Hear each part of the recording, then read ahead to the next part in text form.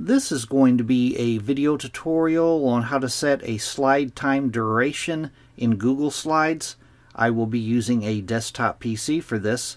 Let me jump over to my browser here. I have my browser opened up now and I am on Google Slides. I have a little example project opened up here. To set a time duration for your slides, it's very easy to do. First thing you want to do is go up to the upper left hand corner and click on the View tab. Then you want to go down to where it says Slideshow and click on Slideshow. That brings you into presentation mode. Now to uh, automatically play your slides and set a time duration, it's very easy to do.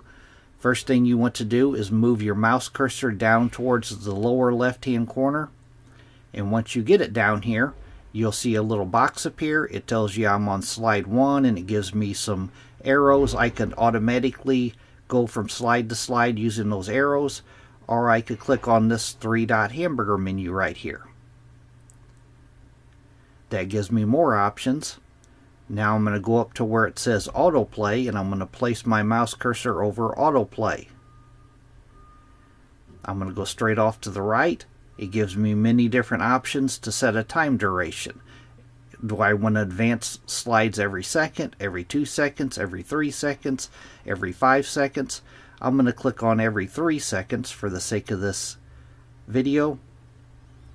So now it's going to advance slides every three seconds. It's going to automatically go to the next slide. Now at the bottom it gives me another option to loop my slideshow once it reaches the last slide, it'll automatically loop back to the first and it'll continue playing. I'm going to click on loop. Then I'm going to go up to the top up here and I'm going to click on play. Now every three seconds it will go to the next slide and once it reaches the last slide it'll loop back to the first slide. That is how to set a time duration in Google Slides. Thanks for watching.